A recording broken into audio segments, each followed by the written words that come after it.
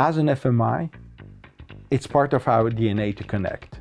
But at some point, we need to unlock more value and we need to explore new opportunities where we have actually a use case and a business case.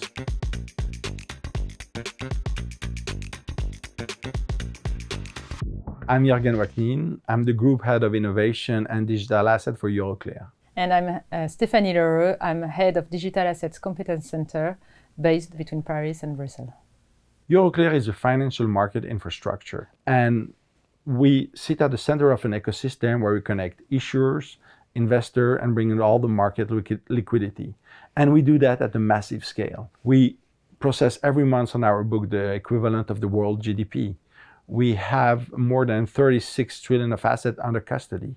We already see today with POC around interoperability and things like uh, Chainlinks are doing and the rest that they are working solution today. Now, how is that going to scale and support the market and bring the trust that needs to move billions and trillions of assets to this world? That's going to be another challenge. And the way we approach it is in a safe and gradual innovation uh, approach. And that's what's going to be to be key. How do you make coexist traditional asset and digital asset, bringing the benefits of both worlds?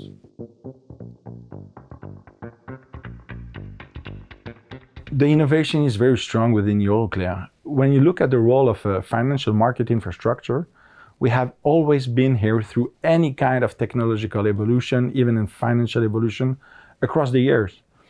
Whatever happened with the internet, digitalization, cloud, everything, we have been able to go through and support the growth of the capital markets. But we are in a specific momentum today. We decided to accelerate on our digital journey two years ago because we were sitting in the middle of, uh, you know, market readiness, regulatory readiness, and technology maturity. And the combination of all these three elements are very important for us to accelerate and deliver new project when it comes to DLT. We are at point where uh, we are at the end of the first phase of experimentation where some uh, DLT platform are in production and need now to, to move to the next phase of exploration and next phase of production. So meaning how to drive uh, volume, how to drive value, bring value, unlock value for the market as a whole, how to embark an ecosystem. And that's a very specific moment uh, where we stand today. And in this context that we have going at the right pace and with the market is something very important. And that's the spirit spirit of what we have built internally. We have our own uh, digital issuance platform uh, for bonds and the idea was not to on the full value chain from the beginning but trying to to have a progressive and approach with our ecosystem in terms of co-creation. And making sure as well that whatever we are doing we are doing it with our participants for our participants without compromising with the liquidity or creating any uh, problem or, or, or, constraint to the bonds that we are issuing. So we had what we call an mvp approach which is minimum viable product but in a good way meaning it's a small scope really focusing on the digital issuance, primary markets, and then being able to build a bridge with the legacy system to make sure that the bond can be uh, used and benefit from all the services from Euroclear, secondary market liquidity, and make it very easy for investors to uh, use, invest, and, and transact. And that's kind of the the funny part of the discussion because I think that's part of a, a, unique value proposition. When you look at that from outside, what we're doing with this uh, DFMI platform is actually bringing the best of both worlds. We allow issuers and the issuer ecosystem to innovate and to explore the full potential of DLT through the primary distribution. And what is important is that, you know, they need real money and they want actually the investor to be able to enjoy all the liquidity and to be able to hold it without all the hurdles today of the wallets and the digital custody, which is not that easy for them to have. And that's exactly what we're offering. At Euroclear, we have a renewed purpose. We innovate to bring safety, efficiency, and connection to financial markets for sustainable economic growth. And I think every word in there is important and in the order. We don't forget that we're a financial market in infrastructure and people rely a lot on us. We're trusted, preferred business partner for uh, for the activity of uh, of our ecosystem. So when we decided to go with the digital asset strategy, we had a lot of consultation with our participants, and we actually decided to co-create. And we have to innovate at the pace where our participants are comfortable, and that's very important. If you innovate too early, you might have a great solution at the end, but no one is going to use it. So we decided to go with a mainstream asset for Euroclear, which is basically Eurobonds. And our clients were very comfortable with that because they know it very well. It's a very liquid asset and they can compare and see the benefits of it. And I think that's a unique value proposition that we are having today because for the issuer, we are doing real innovation, bringing DLT for all the primary issuance, doing DVP, atomic settlement with cash on chain. And because they want the money to be really used, we connect it to our traditional system for the investor to benefit from all the secondary market and the liquidity.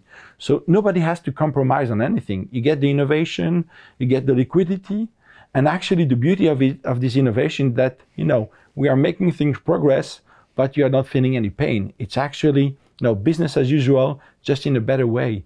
And we are offering uh, an optionality. You can decide to go traditional, you can decide to go DLT. That's just fine with us. the aha moment was more for me, you know, around 2010 when I understand everything that was going to happen or was happening in, in this industry and how this technology was going to actually move from Web 2 to Web 3 and disrupting the trust part. You're able to move information, now you're able to move value. And we see how that has taken up in the DeFi space. Now, when it comes to capital markets, honestly, I don't believe there is an aha moment, at least not for us. I think it was more a momentum um, between three main components. First of all, the market readiness, the regulatory readiness, and uh, the technological readiness.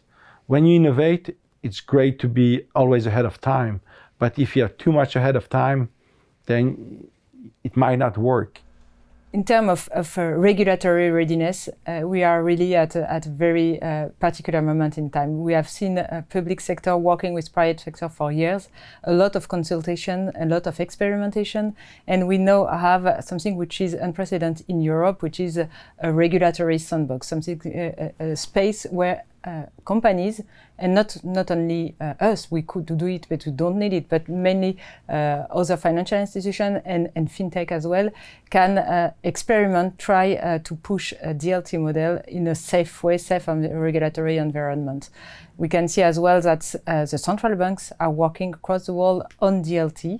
Uh, a lot of projects around retail or wholesale CBDC, experimentation, production in some cases. So that's something which is uh, very particular and, and helping the industry to move forward. And maybe the data is something which is yeah. really key because today, you know, the whole market is functioning with a lot of uh, participants and a sequential way to, to transfer or, or, communicate the data. And this is something that DLT can bring and bring value right now is being able to get away from a sequential way of, of sharing data into something more circular. And that's something which is very interesting in my opinion. And that's very much embedded in the long-term vision of Euroclear. We have to recognize the sequential value set that is very inefficient today. It's inefficient, it's costly, and we're duplicating a lot of tasks.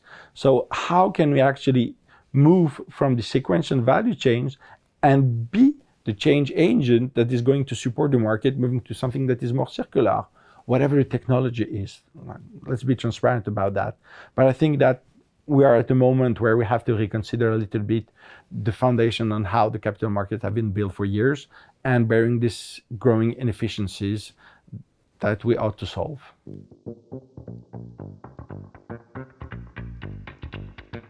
I think one of the big challenges is the fragmentation of the of the DLT market. We have seen there has been a lot of experimentation, so some platforms have emerged, and uh, and we need now to connect all these tokenization islands together. So the the notion of interoperability between uh, the different platforms is very key to the market to drive adoption and to help investors invest into digital assets and ensure uh, being comfortable issuing into this uh, DLT platform. So that's that's a very very key point, and that's the interoperability between the different DLT platform. And I'm talking about DLT platform, but could be as well public or private blockchain. I, I don't care about that, but really being able to connect all these islands together.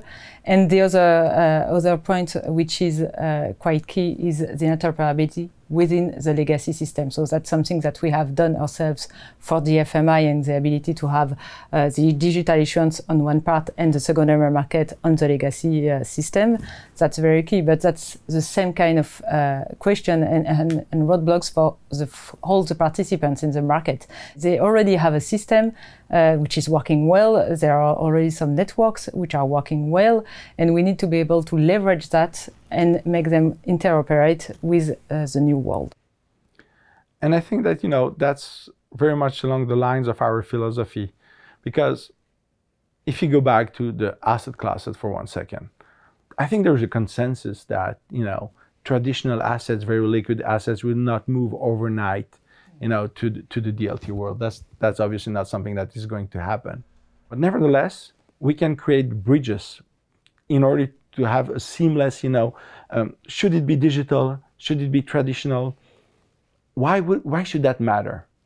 And that's something that is very important for the investor and the issuers. We give this optionality and we create bridges between traditional assets, digital assets. We talk about the mission and the role and function of the CSD, but as CSD, we are also providing uh, access. We have a network activity. We are providing access to the different markets.